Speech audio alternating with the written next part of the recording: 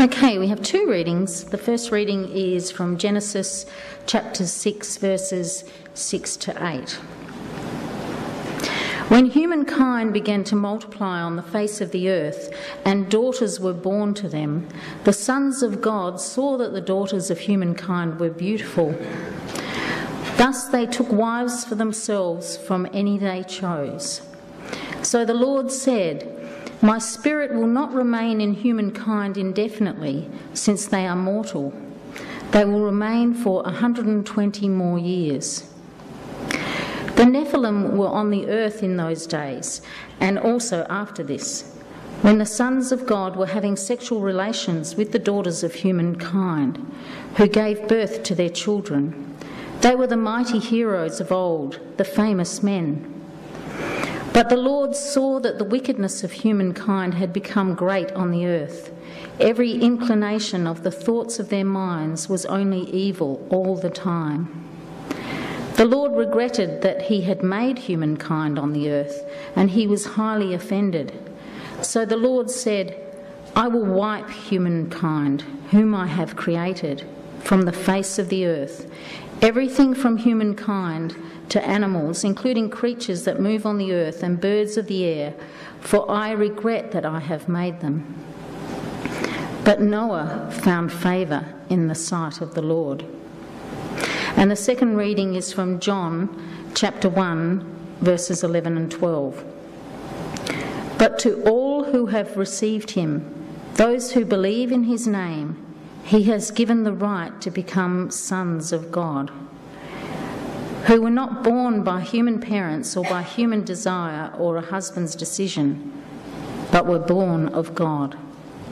This is the word of the Lord.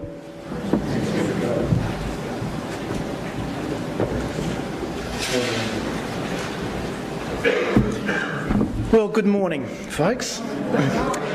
Hey, um, I just want to start um, acknowledging um, the absence of Ray this morning. So let's pray. Father, we, um,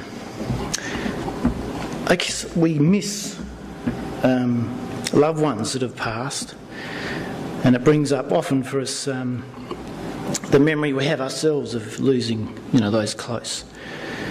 So, um, yeah, I pray a blessing this morning on this service, and a blessing on the the Giles and their relatives and yeah, as we miss that lovely old bloke.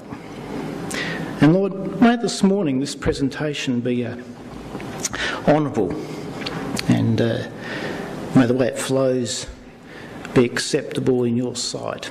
Great Lord, sheltering rock, great Redeemer. Amen. Hey, I was doing all right this morning until I saw Marty and Naomi were here. So, uh, I'll get rid of that, that, that. And, uh, actually, if, um, if you've come this morning and you are by default someone who likes to whinge about sermons, you've chosen a great morning. This is going to be good. Exits are here, here. And, uh, hey, there's this uh, little old lady out Dernancourt Way, and she's so spiritual. But each morning before breakfast, she steps out on her back porch, raises her arms above, looks to the sky and shouts out, Praise the Lord! Much to the great irritation of the atheist who's just moved next door. After a month, he can stand it no longer. So yells back from his porch, There is no Lord! Little old lady persists regardless, day after day, week after week, until one cold and wintry day, she goes out on her porch, raises her arms above, looks to the sky, and in supplication says, Help me, Lord. I have no money left after paying the last electricity bill. It's cold and the food has run dry. Well, the next morning she goes outside and on her back porch there are three bags full of freshly purchased groceries. She raises her hands above, looks to the sky, and says, Praise the Lord. Just then, the atheist hops out from behind the bushes and goes, Ha ha ha! There is no Lord! I bought those groceries and I put them there on your back porch. The little old lady raises her hands above, looks to the sky, and says, Praise the Lord. You not only sent me groceries, you made the devil pay for them.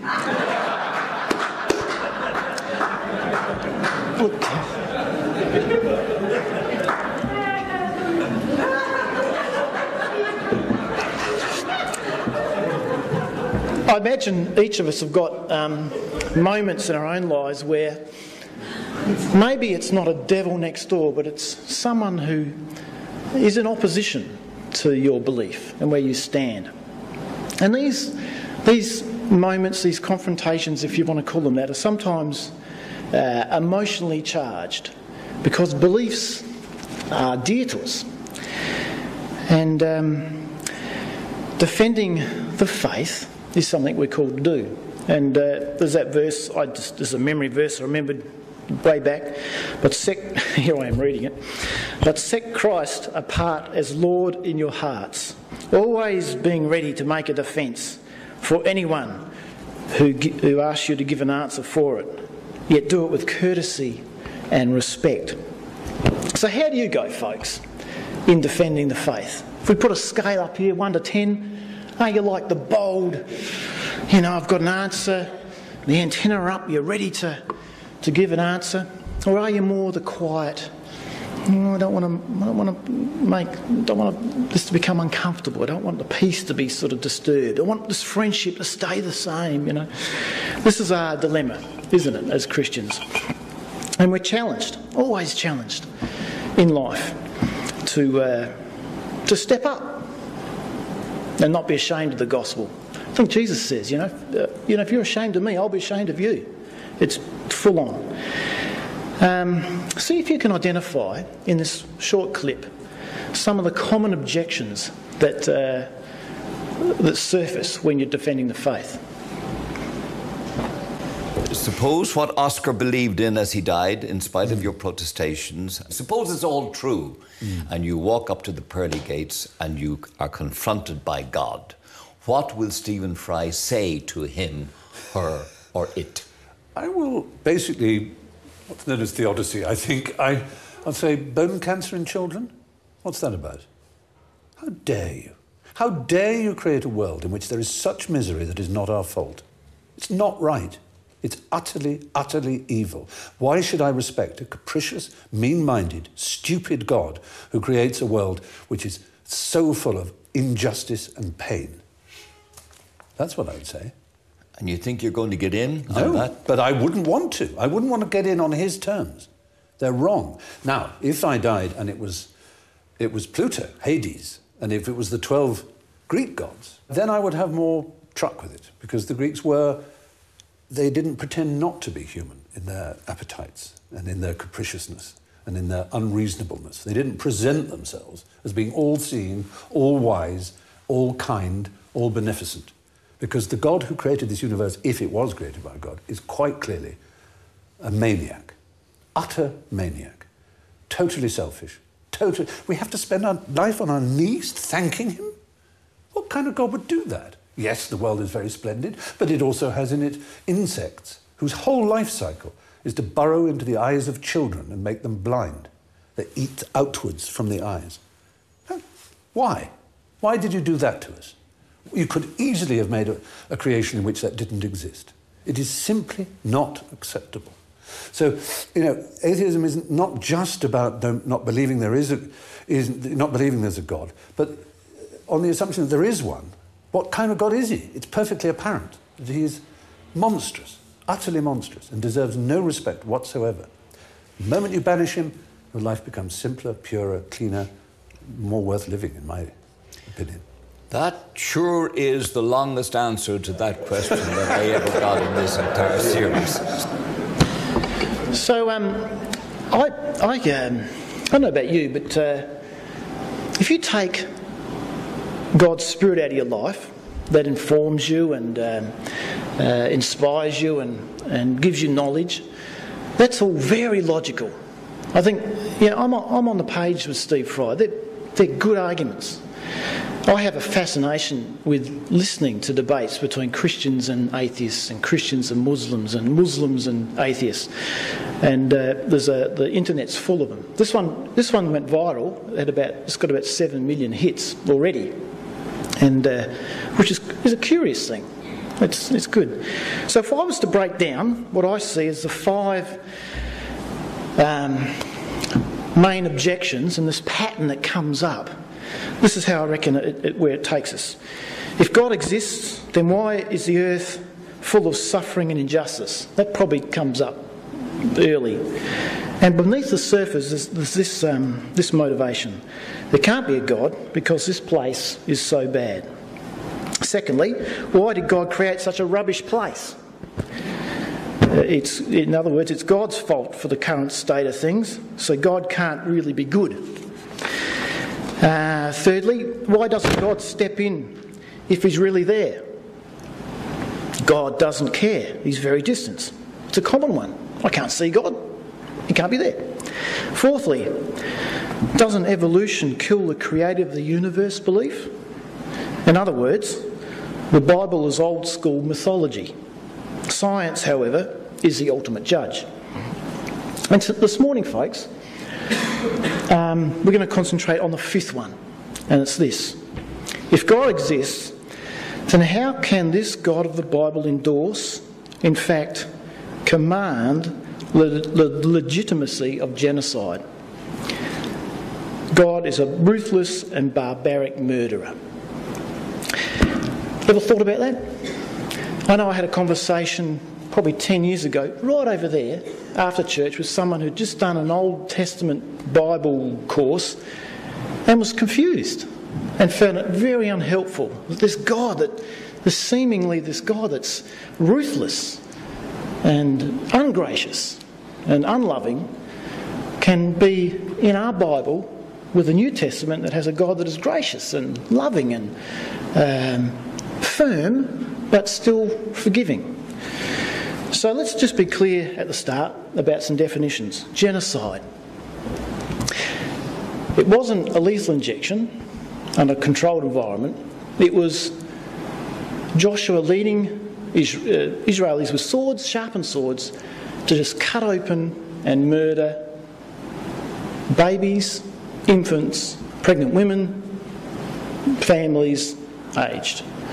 It's Steve Fry referring to God as being barbaric, I get it. I get what he's saying. He's in the same, in Steve Fry's mind, the same sort of bracket as the Stalin, the Hitlers, the Pol Pots. So, what's God really like? What do we think? Well, of course, we don't. We either, we either don't think about this, or we've got some, some argument in our heads. So, I want to just address that one this morning in a bit of detail. And I, am sure Ray, this is what Ray, Ray would have loved this. Um, okay, we can look at two characters. Two characters this morning, two heroes. This is a video of the first guy. Goes for a minute. I will tell you of Hercules. Part mortal, part god.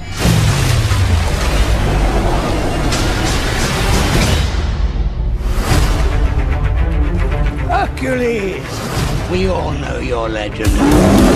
You're the son of Zeus. I was hoping for a challenge. The gods have unleashed hell on Earth. They are the descendants of Hades. They cannot be killed by an ordinary mortal. If you help us, we will pay your weight in gold. Eat up. Where are we going?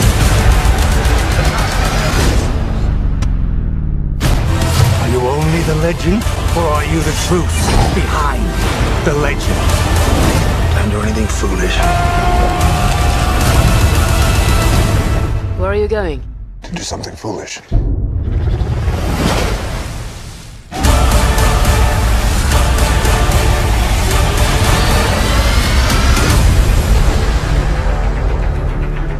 Don't suppose you thought you were going to see that this morning in church. So um, we put that story of Hercules, the Greek mythology, into the mythological camp. Our other hero this morning is Noah.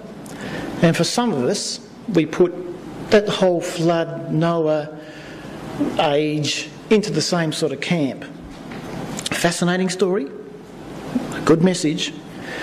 Um, but I want to suggest this morning that um, if we do take the story of Noah as a true account, uh, a historical account, that the very life of Noah provides profound insight into this sort of confusion about this God of genocide, this God that wipes things out. Because, well, the flood was probably the ultimate wiper out of thing. So Genesis uh, 5, uh, big part, the, the story of Genesis is broken up over five chapters. Really quickly, you've got the, the family line of Genesis, Genesis of uh, Noah in chapter 5.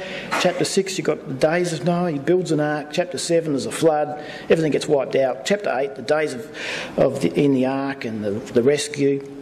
And finally, in chapter 9, you have this new start God says, no more annihilation. And here's a rainbow to remind you I'm not going to wipe anything out like that again, the whole world.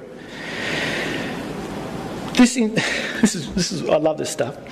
Um, chapter 5 um, is one of those chapters that you read over pretty quickly if you're doing your daily readings, because it's just Noah had a son, two sons. Uh, firstborn became Seth. Seth had Enosh, and it goes through this list. It's like, know, and if you're reading, doing a year plan, just go straight to chapter 6 after you've got a gist of what's going on.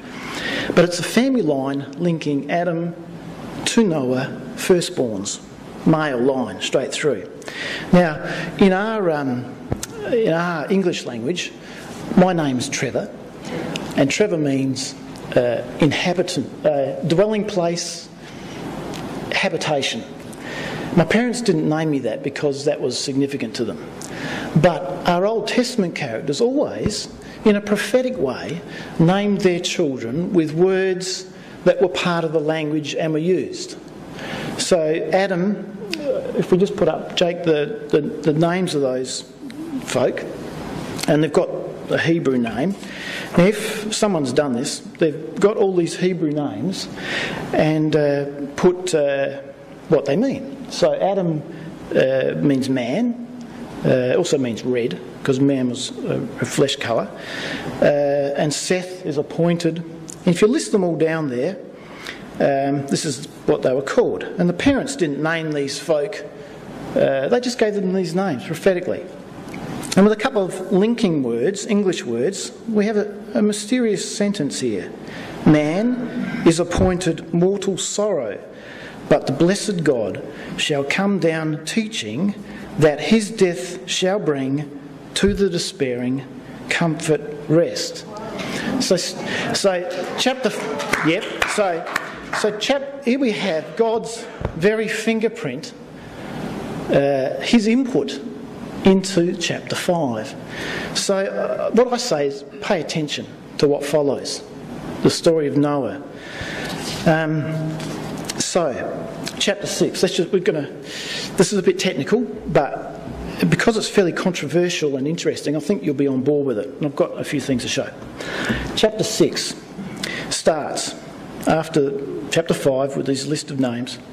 When humankind began to multiply on the face of the earth, the daughters and daughters were born to them, the sons of God saw that the daughters of humankind were beautiful Thus they took wives for themselves from any they cho- chose. Now, the, there are two um, views of what this is all about. Um, the view I'm talking about this morning was in place until the 5th century, and then it became uncomfortable. This view became uncomfortable because the church was adopting the worship of angels and celibacy into the church.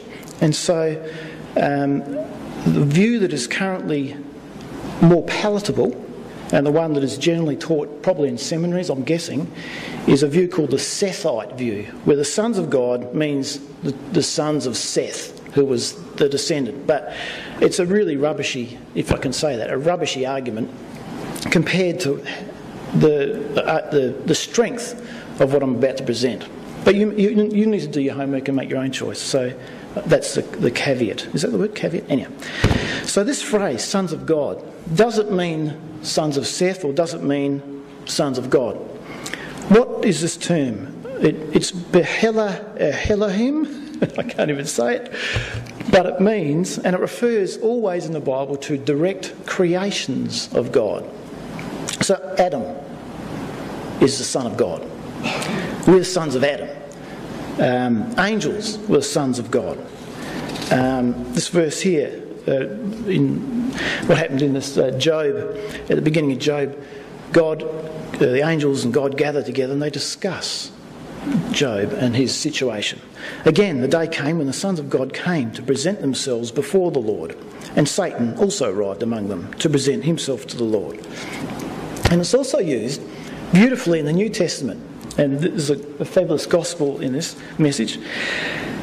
But to all who receive him, those who believe in his name, he has given the right to become sons of God, who were not born of human parents or by human desire or husband's decision, but were born of God. You see, when we become Christians, this creative process comes about. We are recreated. We become sons of God. It's not just a, I reckon, it's just not a catchphrase.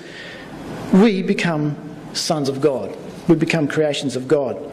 And Jesus explained it when he's talking to Nicodemus in this way. In fact, they can no longer die because they are equal to angels and are sons of God, since they are sons of the resurrection. And Paul also refers to that, that verse, you know, anyone who's in Christ becomes a new creation. Rah, rah. So, bam, sons of God in New Testament. I love that. Now, something that's very helpful to support the sons of God were angels um, is we have this Greek translation of the Hebrew called the Septuagint. And uh, it was put together three centuries before Christ. Um, most of the ancient world was speaking Greek. Hebrews were even speaking Greek as their common language. So, to preserve or to make the Old Testament or that, that, that collection of writings accessible to the Greek speaking Hebrews, 70 experts in language got together in the uh, city of Alexandrina, which is like their university town, and spent 15 years translating the Hebrew to Greek. And it's supremely helpful to us because Greek is one of the most thorough, complex languages. So it gives us great um, insight into the Hebrew language, but it also um, supports what I want to say here. Um, the Greeks, these 70 experts translated that phrase, Behela Elohim, from sons of God to angels. So we know that at least the folk, experts in those days, did believe that it was the angels that came down, saw the beautiful women, procreated with them. So that's, that's the beginning. So the verse 4 in uh, uh, Genesis 6 says, And the Nephilim were on the earth in those days, and also after this, when the sons of God were having sexual relations with the daughters of humankind, who gave birth to their children. They were the mighty heroes of old, the famous men. Now, this word Nephilim comes from a word uh, Nephal, which means fallen one and cast down, deserter, rah, rah, rah, rah. The Septuagint translates, or this word Nephilim from Hebrew to Greek, to a word called Gadatas. Now, that word is the same root that the Greeks use for the word titans. So, not, um, the Hebrew, our Hebrew scriptures have a story that aligns itself with what the Greeks of the day thought. Interestingly, too, that same word Gadatas is the word, where we get the word genetics from. Because, you know, I'm getting ahead of myself. Anyhow, you with me so far? Okay.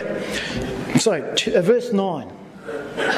These are the generations of Noah. And just kind of stop. This is all about us trying to uh, get in our heads an explanation or a, an argument back for why God did this genocidal stuff. Okay?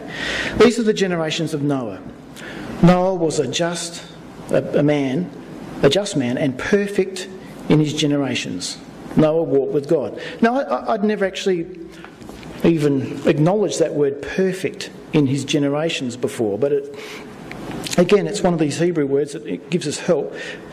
It, it is always used to do with physical blemishes, that word in Hebrew.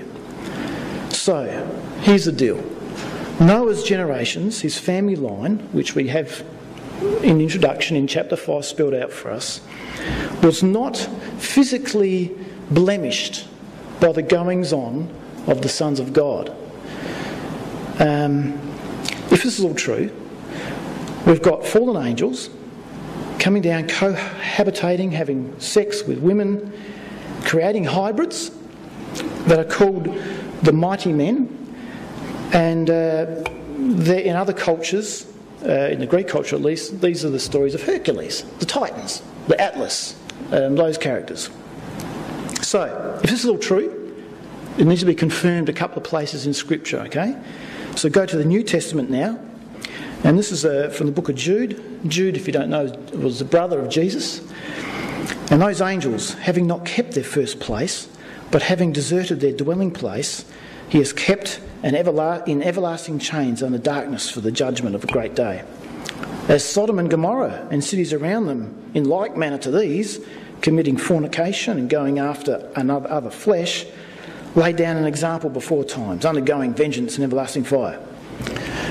So here we have Jude, who would have had access to this teaching, uh, saying that angels came down, uh, they, they moved, uh, forewent their original dwelling place. Uh, he aligns what they did to what happened in Sodom and Gomorrah, going after strange flesh.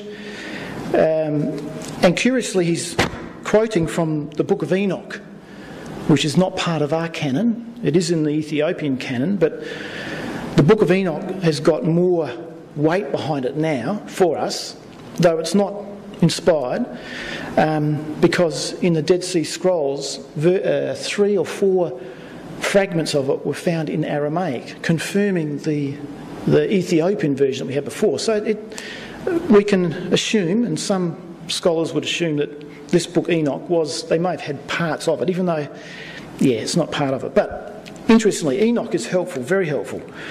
Um, not as, just as another tick to the box. Because the first 36 chapters of Enoch detail the goings on of these uh, Nephilim and the sons of God, which is interesting. And finally, in Peter, he refers to these sinning angels here. Um, For God did not spare sinning angels, but thrust them down to Tartarus and delivered them into chains of darkness, being reserved to judgment. He did not spare the old world, but saved Noah, the one eight, the preacher of righteousness, bringing the flood upon the world of the ungodly. So Peter's now saying, okay, angels are there, sending angels, and along comes the flood, but he, and he spared Noah. So, I believe this is a pretty solid view. I, I believe it is. That a universal spread of these angels had happened. God then um, he wipes out the earth. Uh, uh, for me, before I started looking into this, it was about the sin of us, the sin of the world. It was terrible, and, and it was.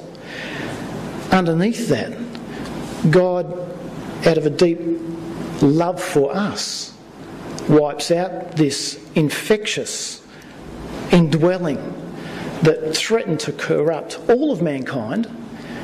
And how could the Redeemer return as a descendant of a Nephilim? Noah was perfect in his generations. He was, he was one, at least the one that we know of, that God could save the world through, the future world through. And that's through us. So that might explain the genocide of chapter 6, the, the wiping out, the flood.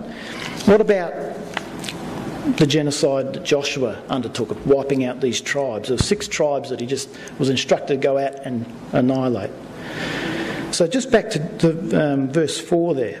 The Nephilim were on the earth in those days, and also after this. We have historically, in most ancient cultures, stories of the Nephilim. I've mentioned the Greeks. the Assyrians, the Egyptians, the Incas, the Persians in India, Brasilia, even the Red Indians. This fella up here, uh, uh, William Cody, uh, is famously known as Buffalo Bill. In his journal of going through parts of um, uh, you know, California, America, wherever, he wrote down, it's written down in his journal. While we were in the sandhills scouting the Niobrara country, the Pawnee Indians brought into camp some very large bones, one of which the surgeon of the expedition pronounced to be the thigh bone of a human being. The Indians said the bones were those of a race of people who long ago had lived in the country, and they said the people were three times the size of man of the present day. And they were so swift and strong that they could run along the side of a buffalo and taking the animal in one arm, they could tear the leg off and eat it as they ran. and, and, in Mexico, uh, we haven't got time to go through these, through these, but the chief, the chief chronicler of the conquest of the Mexicans by the, of, by the Spaniards, Bernal Diaz, reports of being told of the legend of the giants and was presented with a thigh bone that stood his own height. And here's a picture of a model of what that the, the size of this thing would have been. So this is peripheral stuff. Okay, this isn't this is, you don't base your argument on this, but there's all through history this these unexplainable things. I just saw something just yesterday on uh, these structures of old. There's these I think it's in Iran or Iraq or one of those places, this stone that we don't have a crane on the planet that can lift it. But it was carried 15 miles from the quarry. Um, how to get there? How, how could a big. There's some, lots of stuff we don't know yet. Here's a, here's a picture of a couple of places around the world. This is uh, in Mexico. This is the. Uh, what was it called? The something to the moon, the pyramid to the moon, or the. Yeah, pyramid to the moon. Uh, another picture of this next one, another strange place. This, oh, that's the pyramid of the moon in the background. This is from the pyramid of the sun. And the legend has it that this was a place the giants used to uh, genetically modify humans into gods. Who knows? Anyhow, it's, cu- it's curious. And Nature magazine in 1997 had a, an article in it. Uh, the scientists at the Johns Hopkins University, if you just go to the next one, Jake, um, they uh, discovered an, this knockout gene that um, it's called the growth differential factor 8, GDF8. And if you raise it from rodents, um, what happens is it limits the skeletal muscle growth or something or other, and the mice grow, grow, dramatically, grow dramatically. So it's not just a hormonal blanky thing, they actually become physically stronger and bigger. So, you know, just as an aside, I wonder if when Jesus says his return will be like the days of Noah, if he's referring to not just the sin, but maybe just some genetic mucking around. Anyhow, that's an aside. So, just to finish up, let's look at what the Old Testament says in support of all this. Um, we've got um, this is a story, a famous one. Uh, they were told of their story. They told the story of the trip. They went to the land to which you sent us. Oh, it was does flow with milk and honey. Just look at its fruit. The only thing is, that the people who live there are fierce and their cities are huge and well fortified. Worse yet, we saw descendants of the giant Anak. And further down, we even saw the Nephilim there. The descendants of Anak came from the Nephilim. And we seemed like grasshoppers, both to ourselves and to them. And then there's a story of the king of Og. I think he was, his bed was 13 foot, something big, and, uh, and it goes on and on and on. There's, of course, the, the, Goliath story and his four brothers who were giants. Uh, you ever thought, you know, you know, David goes down, he picks up five stones from the brook before he confronts, as a 12 year old or whatever he was, to kill off Goliath? He had five stones because Goliath had four brothers who were giants. I, I never, thought, never thought of that. So if the rest of you come out, you're going to get a stone as well. So, to answer this objection, of um, the genocidal maniac God, we can say God had to put a stop to the genetic contamination that was being systematically spread through the human gene pool. And the flood, was, the flood dealt with the universal spread uh, in Noah's time. Post flood, it continued on a smaller scale through the tribes of Hittites, Amorites, Canaanites, Perizzites, Hivites, Jebusites. Joshua is instructed to genocide these tribes to again end this ongoing contamination. Two Canaanite, oh, the two uh, Canaanite kingdoms east of the Jordan were completely destroyed, Jericho and Ai, Ai, whatever you say. But the Canaanites on the west were not. So the descendants of the Nephilim continued. And we have the stories of Goliath and his brothers. Bottom line, you need to do your own homework on this because it's a little bit out there. Um, I think there's more support for this angel view than the, the Sethite view. And uh, so I guess know this God is prepared to take drastic actions and even terrifying actions to protect his plans on this earth. And his plans, in the case of this genocide thing, are about protecting a pathway for Christ to return. And uh, yeah, through that, we're here this morning. And we go to be with Ray down the track. Let's just watch a concluding video.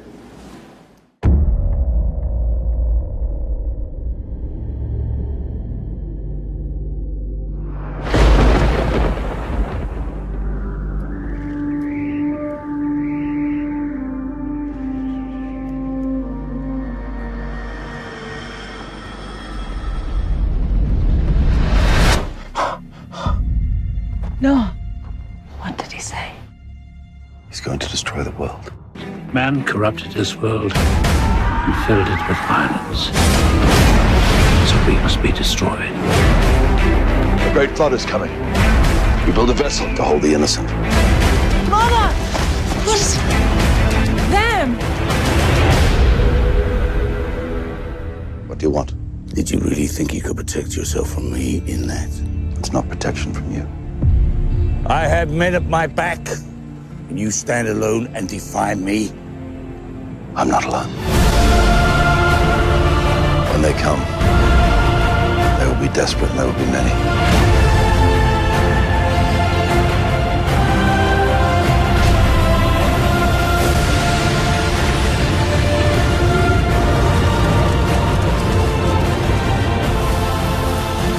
Snakes are coming too? All that crawls, all that slithers. Remember, Noah, he chose you for a reason.